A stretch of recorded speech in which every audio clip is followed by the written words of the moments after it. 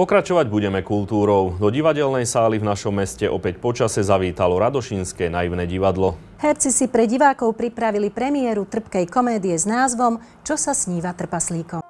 Sála Mestského kultúrneho strediska sa opäť naplnila priaznivcami divadelných predstavení. Tentokrát sa mohli opäť tešiť na premiéru trpkej komédie Stanislava Štepku v podaní Radošinského naivného divadla. Tá nesie názov Čo sa sníva trpazlíkom. No teraz budeme hovoriť o tom, že či sme naozaj kultúrny národ a keď sme kultúrny národ, akože si myslím, že sme, či naozaj sa správame kultúrne a prijímame kultúrne hodnoty bez problémov, alebo niekedy prijímame aj také hodnoty, ktoré sa ako len kultúrne tvária a popri tom sú to, prepitujem za výraz, gíče. Príbeh tejto divadelnej hry z dielne Radošinského naivného divadla je tak aj malou úvahou. Nedáva žiaden recept, ani nič neodsudzujeme o tom, že toto je gíč, alebo toto by ste mali v živote robiť, alebo pozerať, alebo nepozerať.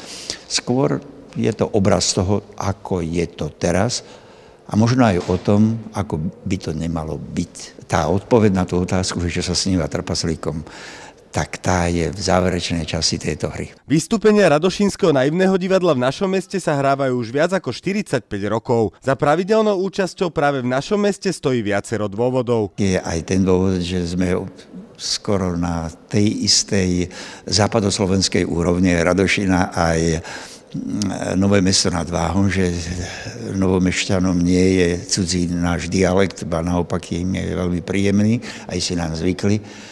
A okrem toho tu máme veľmi veľa známych, aj Radošinčanov a ľudí, ktorí nám fandia, ktorí nám držia palce. Aj keď predstavenie, čo sa sníva trpazlíkom, je zatiaľ iba na začiatku premiérových predstavení, členovia Radošinského naivného divadla už teraz plánujú nové divadelné hry. Mužské oddelenie, ktoré bude takým voľným pokračovaním nášho predchádzajúceho ženského oddelenia, tak sme hovorili, čo by tam malo byť, ako by to malo byť. No a kto by tam mal hrať, kto bude robiť hudbu a takéto konkrétne veci. Máme pred sebou ešte aj ďalšie veci, napríklad tri nahrávky pre slovenský rozhlas, takže roboty nás čaká dosť a ja sa teším nielen na tú prácu, ale aj na vás v Novom meste, že sa zase prídeme s niečím novým. Premiéra divadelného predstavenia Čo sa sníva trpazlíkom tak zožala úspech a novomestskí priaznivci divadla sa už teraz môžu tešiť na ďalšie komedie z dielne Radošinského naivného divadla.